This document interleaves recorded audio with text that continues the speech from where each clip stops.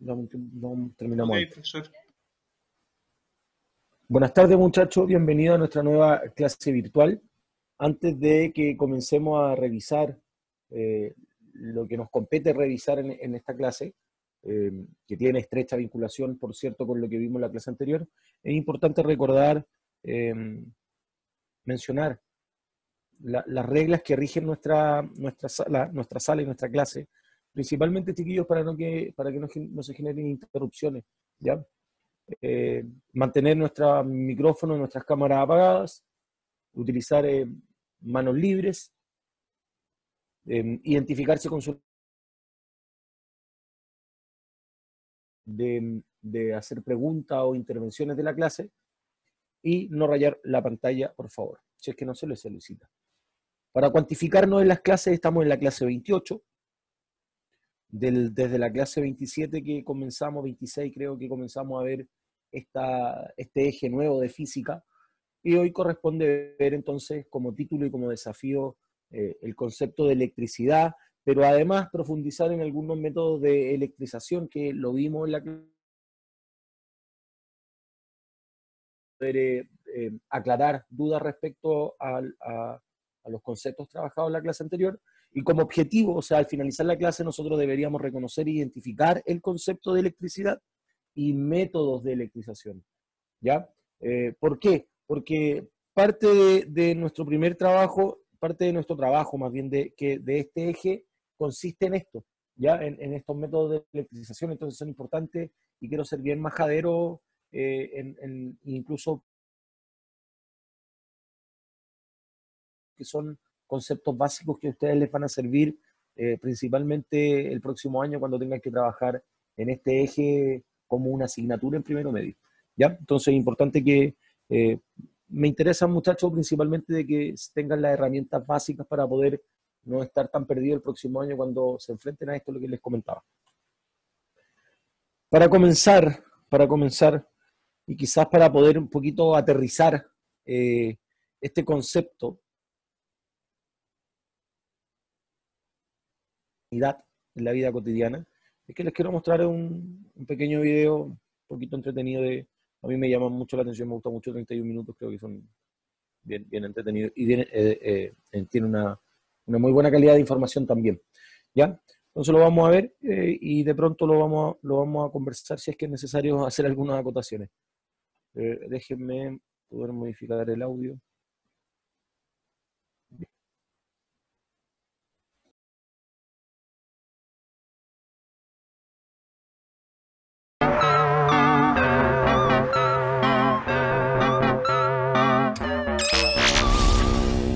Seguridad, seguridad, seguriguriguriguridad. Seguridad, seguridad, seguriguriguriguridad. ¿Oh? Oh, oh, ¿Qué oh. está pasando?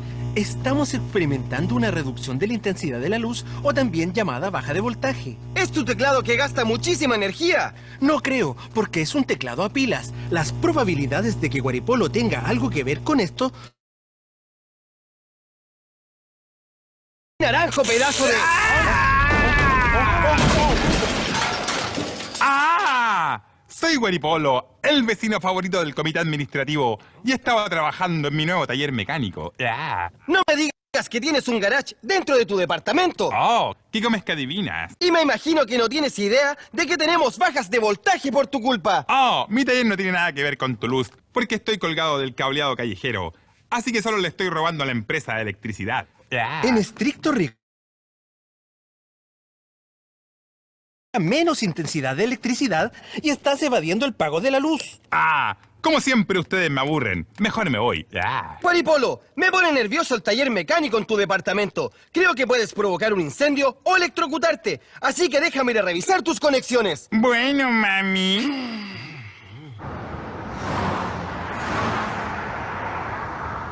Bienvenidos al taller de enchulamiento de autos, Wari Chulo. ¿Ah? ¿Pero qué engendro es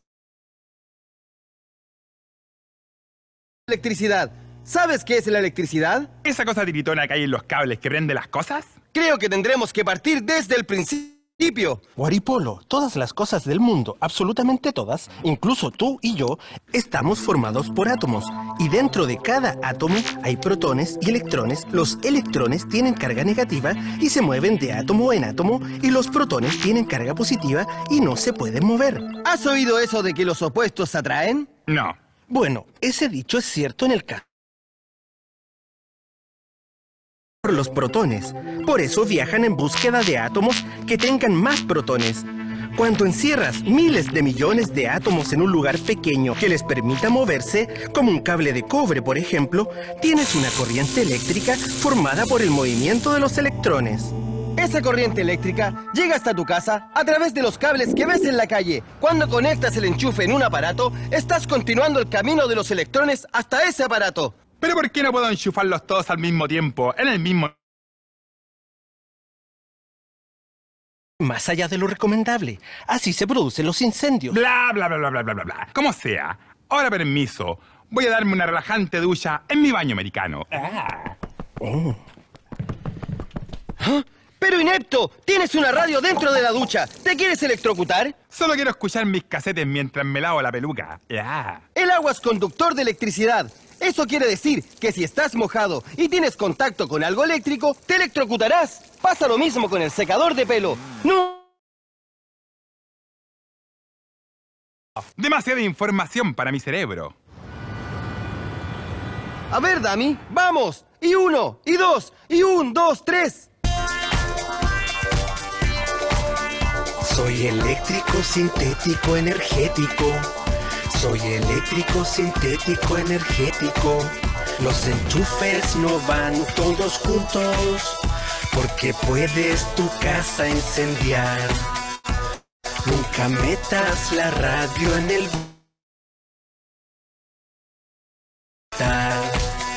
Y si algún día hay un cortocircuito, te aconsejo que llames a Segurito. Aconsejo que llames a Segurito. Soy eléctrico, sintético, energético. Soy eléctrico, sintético y patético.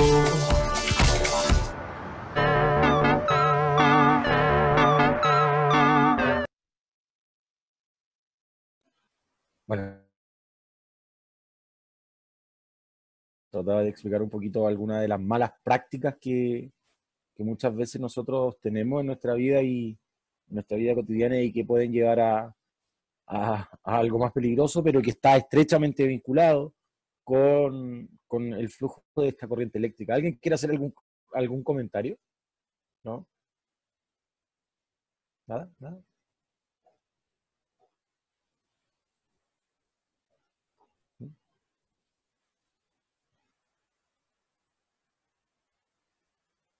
Porque en realidad como que una música, no sé, pero lo que yo quería que se enfocaran es que muchas veces nosotros eh, inconscientemente enchufamos un montón de cosas en un mismo, en un mismo enchufe, o hacemos que este flujo de electricidad no se termine nunca cuando dejamos eternamente conectados nuestros cargadores de celular. Eh, em, entonces, em, eso. Eh, entonces, muchachos, a, lo que me refería principalmente en nuestra vida cotidiana con la electricidad, eso me enfocaba. Ahora, en- dentro de, un montón de videos que, que encontré, dije, ah, ok, este quizás es un poquito más, es un poquito diferente, pero también in- in- involucra algunos contenidos de lo que hemos visto.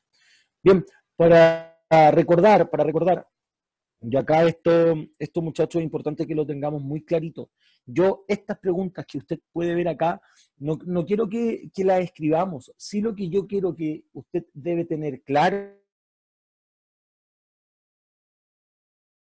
eh, eh, dónde o cómo podemos generar esa electricidad. Si tiene esas dos, esas dos cosas claras, créame que no va a ser necesario volver a escribir todo lo que, lo que vamos a observar hoy día.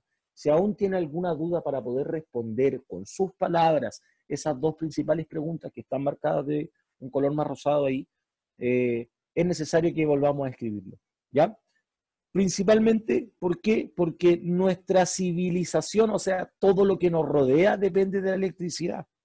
Algunos aparatos e- eléctricos de la vida cotidiana eh, claramente van a cubrir ciertas necesidades básicas de nosotros, o sea, em, el solo hecho de que podamos estar frente a un computador ahora, frente al celular, qué sé yo, em, poder encender la luz es, un avance tecnológico de, años, ¿ya? que antiguamente no tenían esa facilidad. Entonces, la energía eléctrica es eh, la, fuente de toda la energía eh, que, va, que mueve nuestro planeta. ¿ya? Para contextualizar a, un, a un macro modo la electricidad. Y les mencionábamos a, la clase anterior que desde un origen del universo, incluso antes de la materia, existe la electricidad. ¿ya? Eh, entonces, eh, si lo llevamos a la partícula subatómica, sabemos que se comporta producto, su comportamiento se debe producto a sus cargas eléctricas. ¿sí? El movimiento de los electrones a nivel eh, orbital y la compactación a nivel de núcleo de las cargas de los protones y neutrones en, a, nivel atómico es producto de las cargas eléctricas. Entonces, imagínense, imagínense que hasta ese mismo nivel eh, ya vemos electricidad. Ahora nosotros claramente es, difícil de poder ver electricidad, lo que nosotros vemos principalmente es el efecto que produce la electricidad, ¿ya? Que lo podemos evidenciar ahí. Entonces, esto, para poder entender esto, y nosotros ayer lo vimos así mismo, y, quiero que por favor, chiquillos, si hoy hay dudas, porque de pronto la próxima semana lo que vamos a ver eh, eh, va a estar vinculado a, medir esto, a cuantificar con, leyes, con cálculos, ya utilizando una operatoria matemática. Entonces necesito que conceptualmente, que se entienda que existen cargas que son dos, positivas o negativas. Yo puedo cargar un objeto de dos maneras. Yo no puedo cargar un objeto neutro, porque no tienen carga, son neutros. Lo que sí yo puedo cargar un objeto positivamente o negativamente. Ahora bien, los cuerpos, según su carga eléctrica, pueden ser neutros, positivos o negativos. Los cuerpos, los objetos, pero yo puedo cargar solamente de dos maneras, entregando cargas eléctricas positivas o cargas eléctricas negativas. Eso tiene que estar muy, muy clarito a nivel conceptual, o sea, tenerlo muy claro en nuestra cabeza. ¿Sí? Quiero saber si existen dudas, por favor, chiquillos. Es importante escribirlo si es que no lo tenemos. ¿Algunas dudas, muchachos, respecto a esto? A la diferencia entre los tipos de carga y las, cargas en los cuerpos. ¿No? ¿Ninguna? ¿Claro? Ok. Bien. Bien.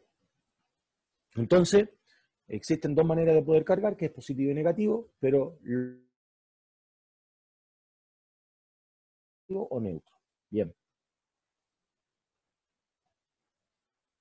Y esto era un esquema solamente para poder identificar cómo nosotros podíamos eh, observar un objeto según su carga y que solamente va a corresponder a la cantidad de carga que tenga respecto a sus protones o sus electrones.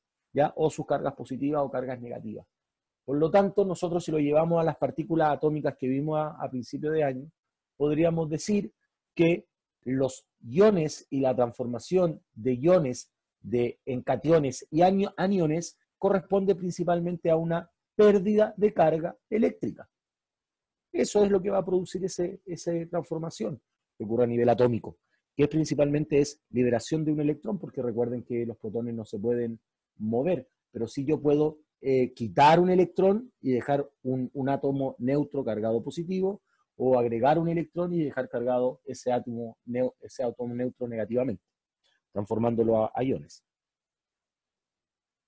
Por lo tanto, según hablábamos que existían materiales y que esto, no me acuerdo si Anaís, no me acuerdo quién hizo el comentario en la clase anterior, que lo vinculábamos con lo que vimos en quinto, en donde hicimos varios experimentos para saber la conductividad eléctrica de ciertos materiales, en donde según permitían que este flujo de electrones pasara fácilmente, le íbamos a llamar materiales conductores. Y como su nombre lo dice, ¿por qué se llaman conductores? Porque conducen la electricidad fácilmente, sin ningún problema.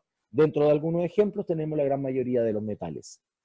Así como existen ese tipo de, eh, objetos de materiales que permiten eh, la conductividad eléctrica, están los opuestos, que son los materiales aislantes, aisladores o bien malos conductores, que como su nombre lo dice, no permiten que pase un flujo de electricidad fácilmente, aislando la corriente eléctrica. Ahora bien, la gran mayoría de los objetos tiene ambos.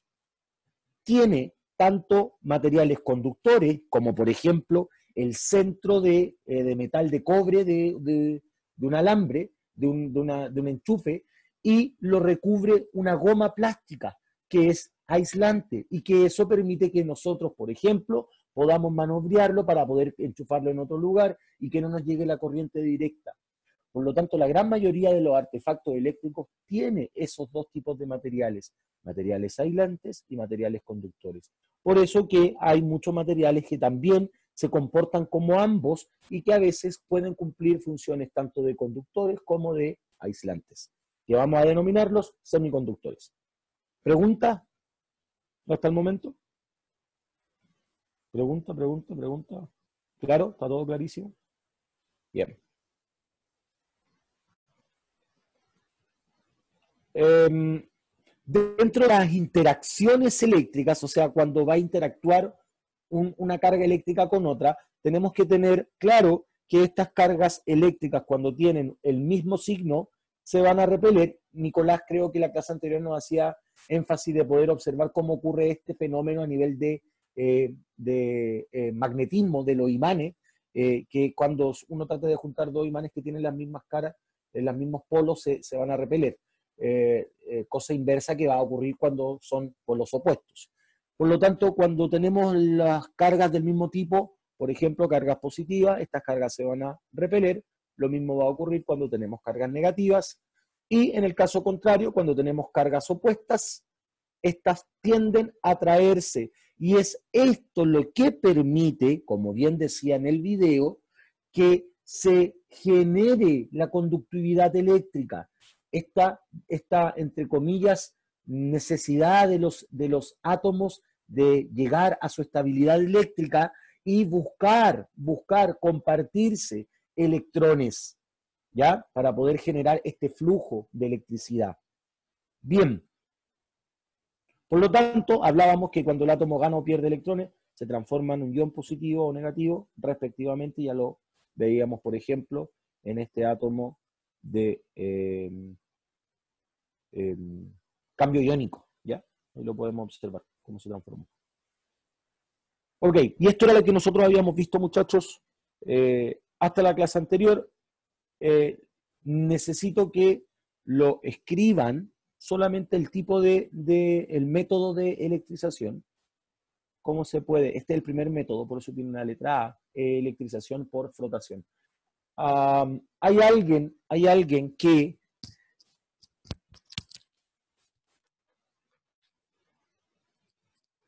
¿Me escuchan? ¿Me escuchan? ¿Me escuchan, cierto? No sé si me salió el audífono por eso. Sí, profe, sí lo escucho. Ah, gracias, gracias, gracias, gracias. Eh, yo les había pedido, chiquillos, que buscaran, no sé si pudieron, algunos experimentos para poder explicar. ¿Alguien pudo buscar algo? ¿Pudo encontrar algo que quizás nos quiera explicar? No sé.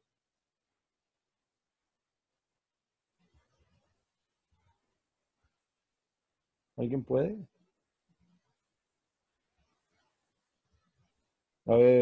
No sé si ese sí es de, si pueden o, no lo han hecho. Si es que está bien si no lo han hecho. Ah, no, está bien, está bien. Tranquilo, sí, también lo vamos a, lo vamos a ver hoy día, Anais. Yo sabía que podría eventualmente haber pasado esto.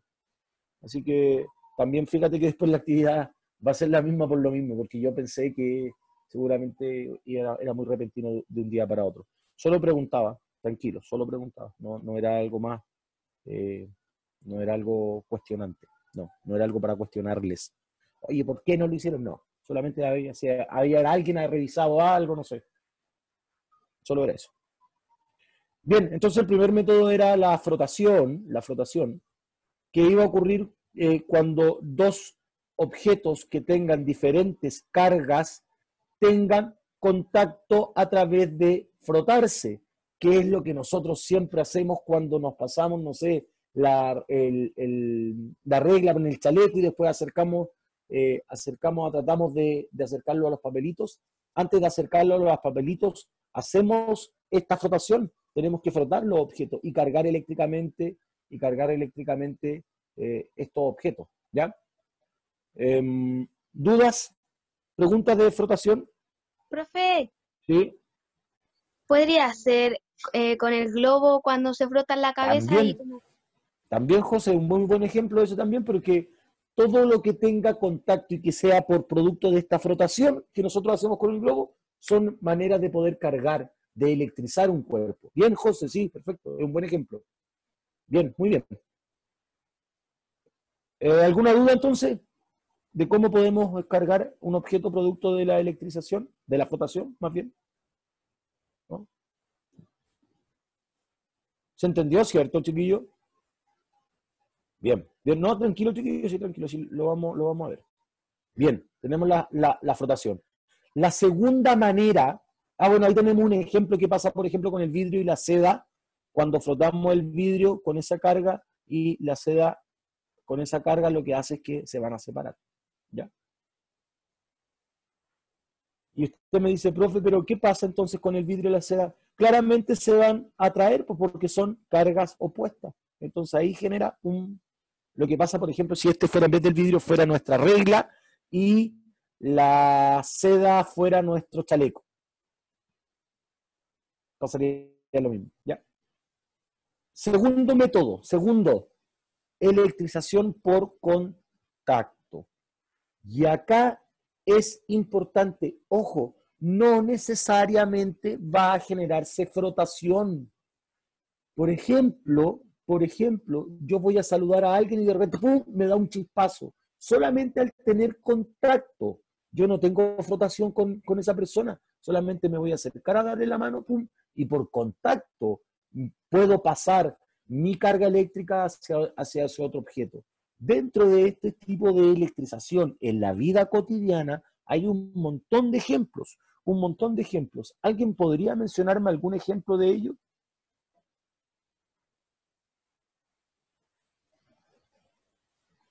¿Qué ejemplo podemos ver de electrización por contacto?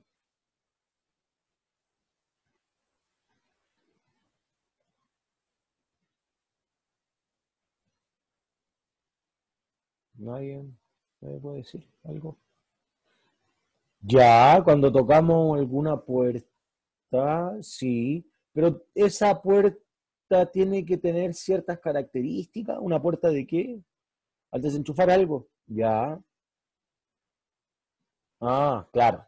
Ahí sí ponéis, porque si yo te digo una puerta, si es de madera esa puerta, pasará lo mismo. En cualquier columpio o estrella, tiene que tener alguna particularidad.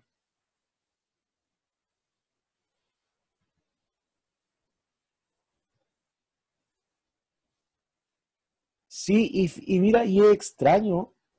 Eh, yo estoy seguro que eso es, de plástico, por eso tienen otro material igual, porque el plástico por, por, eh, por lo general es un material aislante.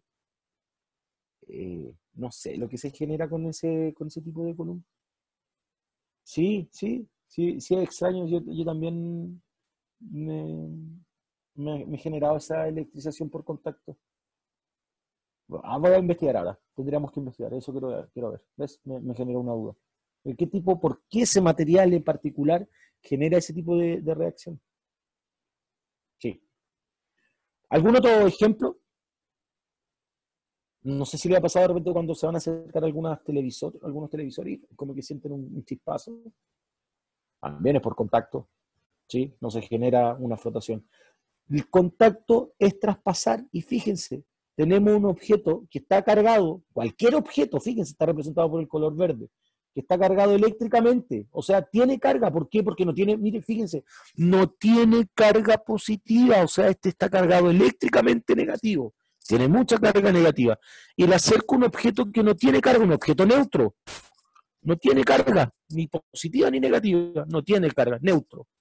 Al tener contacto, yo claramente pierdo un poquito de carga porque estoy traspasando electrones a este otro objeto que tiene carga eléctrica neutra. Pero necesariamente tiene que haber contacto. ¿Hay flotación? No. ¿Hay contacto? Sí. No es lo mismo. ¿Sí? ¿Se entiende la diferencia? ¿Se entiende la diferencia?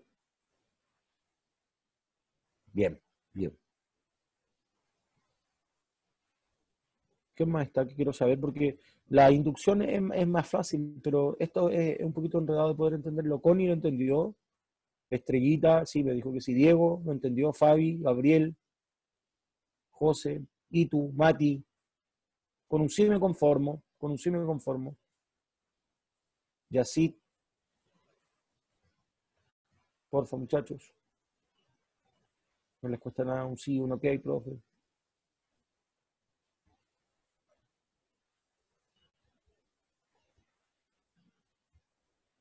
Y de sí.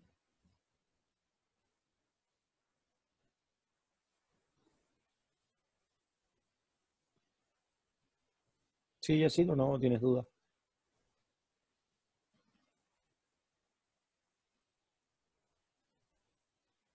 Ok, ok. Entonces tenemos frotación, tenemos contacto y finalmente por inducción. Inducción. Es la tercera, pero fíjense que acá los objetos no tienen ningún tipo de contacto. Es solo acercarse. Solo me estoy acercando a ese objeto y lo estoy cargando eléctricamente.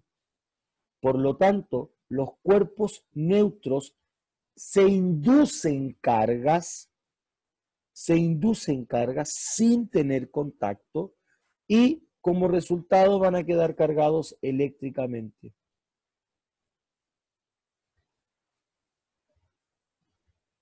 ¿Sí? Esta inducción ocurre, mmm, mire, la José dio el muy buen ejemplo del globo. Ya me, me, me froto el globo, estoy cargando el globo. Queda cargado el globo eléctricamente sin tener contacto, sin tener frotación. Acerco el globo a los papeles y los papeles por inducción, pum, se van a quedar cargados y se van a pegar al globito. ¿Sí? Por lo tanto, no piensen que un método de electrización siempre va a ser único. No, pueden combinarse, puede ser uno que genere otro o uno que genere dos tipos de electrización. Por lo tanto, siempre una combinación de métodos, ¿ya? De diferentes métodos de poder electrizarse. Ahora, debemos entender que todos estos métodos hacen que nosotros eh, tengamos un contacto directo con la electricidad y que nuestro cuerpo pase constantemente electrizado. ¿ya? Por eso que a veces cuando, no sé, uno, uno a veces cuando yo, por ejemplo, empezaba cuando era más chico, ya, ya, ya entendí que no tengo que tomar o abrir el refrigerador con a pie descalzo, o ya entendí que no, no puedo bañarme y con los, los pies húmedos secarme el pelo con el cero. Pero, pero claro, uno finalmente piensa que uno lo hace enderezado, pero finalmente es para cuidarse, porque es cierto que nuestro cuerpo hay bajas probabilidades y podemos hablar de, ya, si yo me preocupo de secarme el pelo y estoy sobre una, una, alfombra, una superficie o unas pantuflas de goma, seguramente hay menos probabilidad, pero si esas pantuflas de goma, o sea, no son de goma, son, no sé, eh, de, tiene un componente metálico, es más probable que me genere, entonces hablamos de probabilidad. Lo que sí es importante entender que nuestro cuerpo siempre tiene eh, tendencia a, generar, a, obtener carga eléctrica y hay que prevenir la manera de, de, poder em, eh, disminuir ese tipo de, riesgo. ¿Ya? Ok. ¿Alguien quiere hacer alguna pregunta hasta el momento?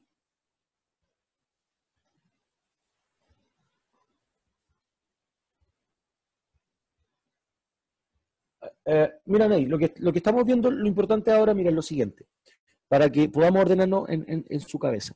Lo primero es entender qué es la, electricidad, que, lo veíamos también eh, como esta electricidad como un flujo de, electrones.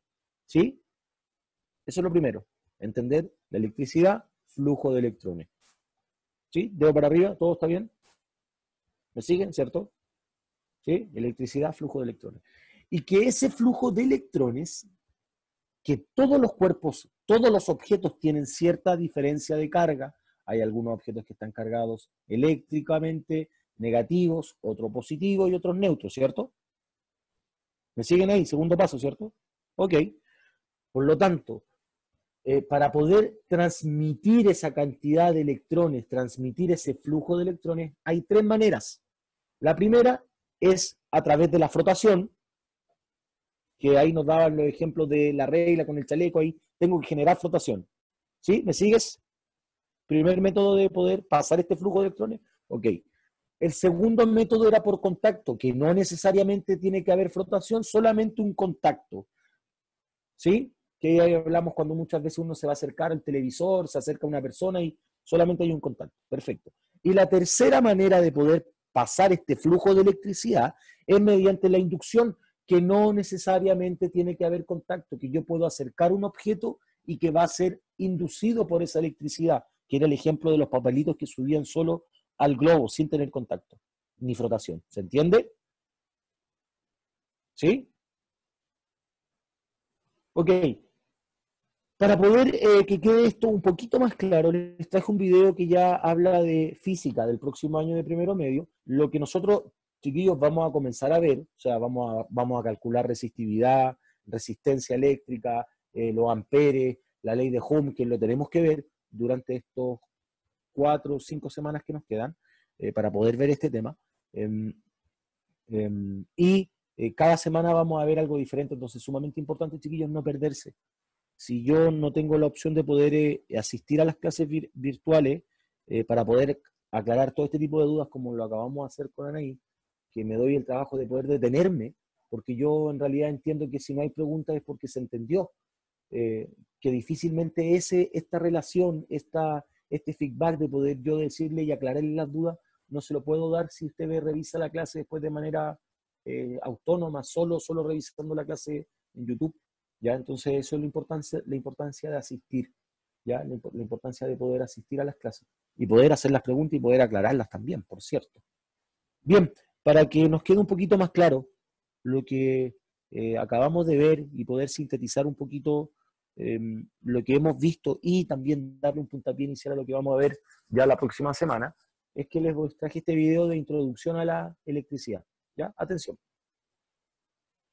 Déjenme modificar el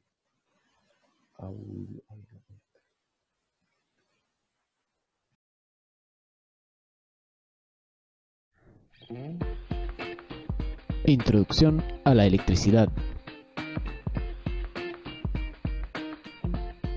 Todos hemos escuchado alguna vez el término electricidad, incluso conocemos las diversas aplicaciones que ésta tiene y que se manifiesta en una gran variedad de fenómenos como los rayos, la electricidad estática, la inducción electromagnética o el flujo de corriente eléctrica. Pero, ¿qué es electricidad? Son diversas las definiciones de este concepto, pero para entender bien de qué se trata, es necesario empezar desde el principio. Todo en nuestro mundo está compuesto por materia. Si dividimos la materia en partes cada vez más pequeñas, llegaremos a una partícula diminuta llamada átomo. El núcleo del átomo contiene protones, que tienen carga positiva, y neutrones, que no tienen carga.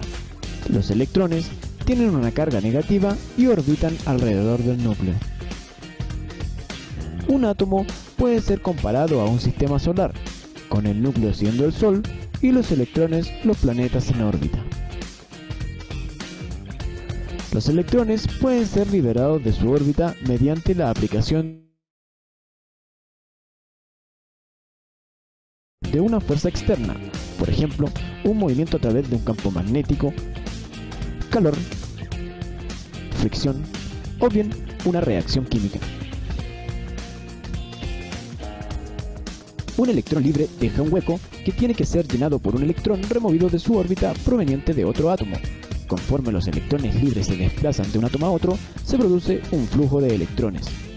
Este flujo de electrones es la base de la electricidad. La expresión los opuestos se atraen es ciertamente verdadera cuando se trata de cargas eléctricas. Las cargas tienen un campo eléctrico invisible que los rodea. Cuando dos cuerpos con cargas similares están cerca, se rechazan entre ellos.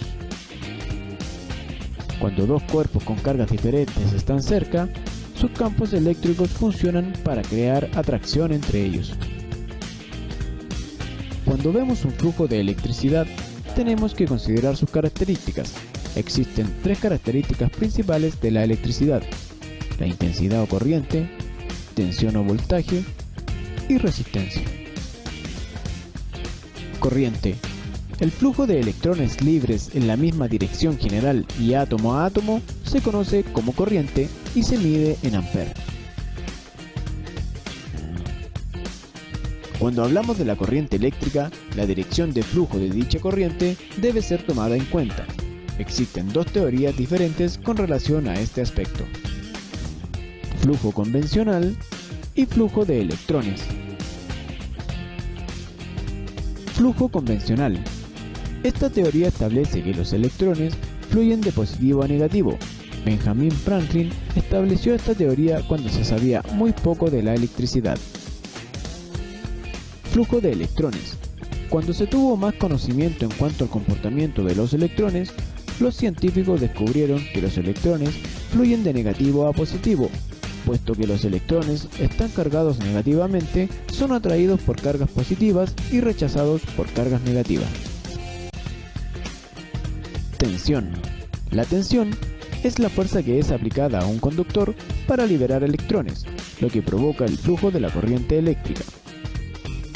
Para entender esto, podemos asociar la tensión a un circuito hidráulico en donde la bomba es la encargada de proporcionar la suficiente presión y fuerza al líquido que estemos utilizando, al igual que la corriente fluye en un conductor en la medida que se aplica tensión eléctrica a este. La unidad de medida de la tensión es el volt. Existen dos maneras a través de las cuales la tensión obliga a la corriente a fluir. Corriente directa y corriente alterna. Corriente directa. Con este método, la tensión obliga a los electrones a fluir continuamente en una dirección a través de un circuito cerrado. Este tipo de tensión se conoce como tensión de corriente directa.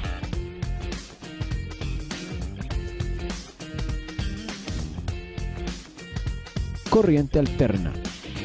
Con este método, la tensión obliga a los electrones a fluir primero en una dirección, después en la dirección opuesta, alternando muy rápidamente. Este tipo de tensión se conoce como tensión de corriente alterna. Resistencia.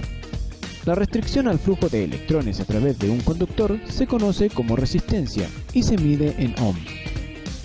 En general, existen cuatro factores que afectan la cantidad de resistencia de un conductor. Material, longitud, área y temperatura. Material. Sabemos que la cantidad de flujo de electrones depende de la facilidad con la cual átomos particulares dejan sus electrones y aceptan nuevos electrones. Los materiales que permiten esto se conocen como conductores. cobre, el oro y la plata son buenos conductores. Materiales que no sueltan fácilmente sus electrones y restringen el flujo se conocen como aislantes. El hule, vidrio y porcelana son buenos aislantes conductores y aislantes desempeñan un trabajo de equipo muy importante.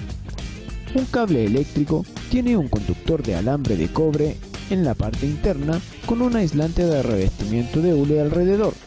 Los electrones libres fluyen a lo largo del alambre de cobre, mientras que el revestimiento de hule mantiene los electrones libres en la parte interna para evitar choque eléctrico y otros problemas. Longitud. Entre mayor la longitud del conductor, mayor es su resistencia. La resistencia se incrementa o reduce en proporción a la longitud del conductor. Área. Conforme se incrementa el área de un conductor, reduce su resistencia. Y a la inversa, por ejemplo, si el área de un conductor es duplicada, la resistencia se reduce a la mitad.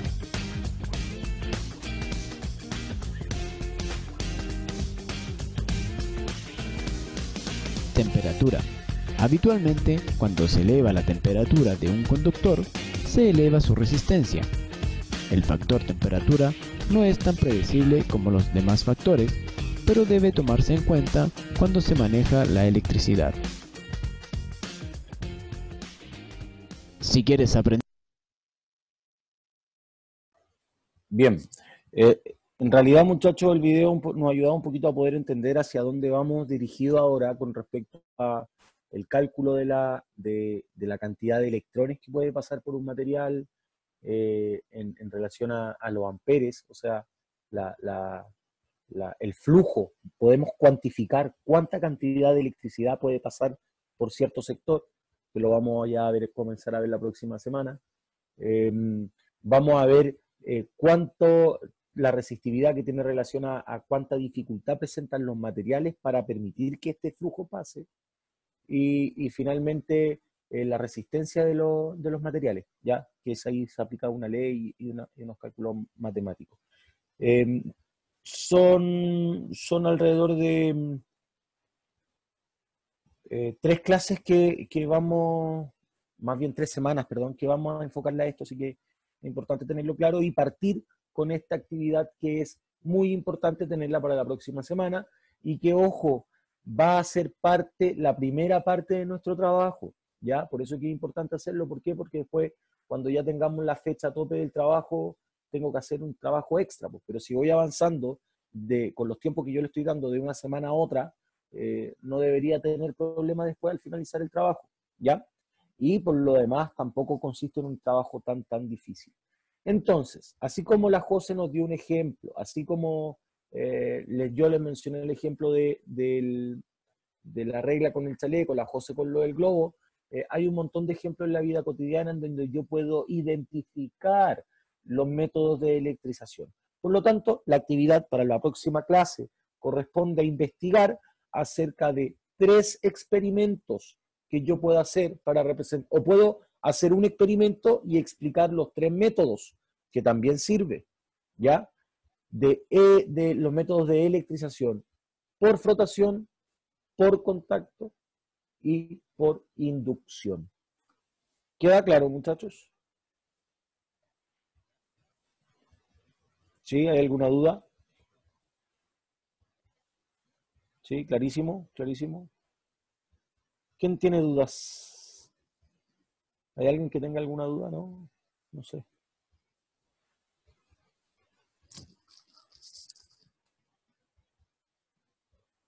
¿Les quedó alguna duda de lo que hay que hacer? Buscar un experimento que pueda explicar los tres métodos de electrización o buscar tres experimentos diferentes como usted quiera. ¿Ya? Como usted quiera, eso es libre. Pero sí tiene que tener clarísimo la frotación, el contacto y la inducción.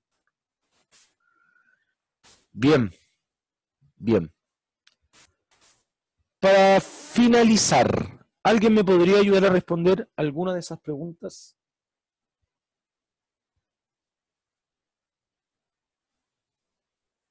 ¿Alguna de esas preguntas para poder finalizar?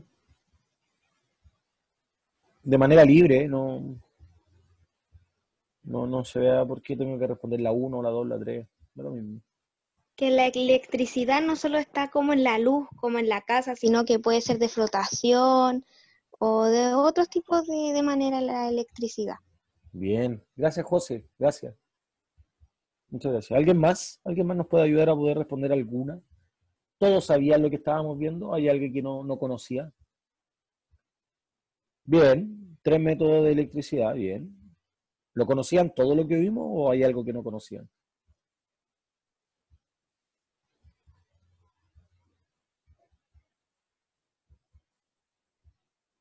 ¿Sí? ¿Lo conocíamos? No, faltaba. hoy ¿sabes que esto yo no lo sabía? La inducción, bien, sí, que era un método de, de electrizar, bien. ¿Algo más? Bien.